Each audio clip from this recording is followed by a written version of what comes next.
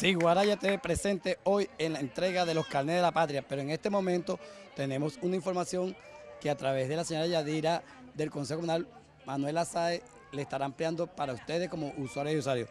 Buenas tardes Yadira, para de...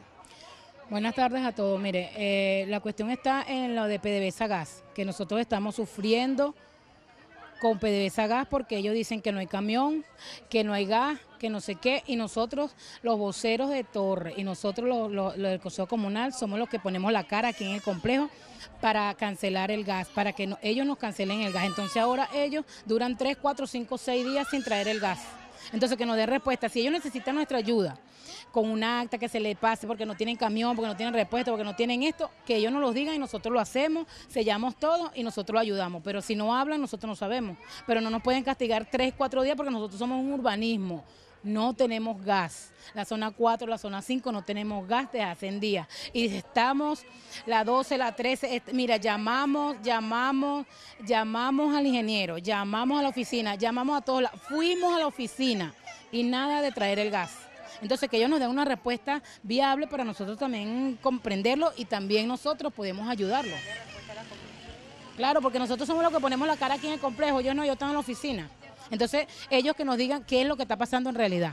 Eh, ¿Por qué no se asesoran con un abogado, ya que este, el derecho a los niños, el derecho a las personas de tercera edad no se le puede negar? Entonces, ustedes busquen asesoramiento de un abogado para que vaya hasta allá y hacerle saber que ustedes están representados. Bueno, sí, es que nosotros, es que nosotros, el Consejo Comunal tiene el poder, tiene un poder que le dio el pueblo, porque nosotros somos lo que le transmitimos lo que el pueblo siente. Y entonces eso es, nosotros estamos diciéndolo, el, sentimiento del pueblo nosotros se lo hacemos saber a ellos. Y si ellos de todas maneras nosotros vamos a pasar un acta por escrito para la oficina, ¿verdad? Para que ellos sepan que nosotros estamos muy molestos con esta situación del gas, porque la gente, mire, los niños, los niños pasan mucho trabajo, Dios mío, viene el fin de semana y no nos han traído el gas. Bueno, acá tienen malestar de un consejo comunal y que deben saber las autoridades nacionales de esto.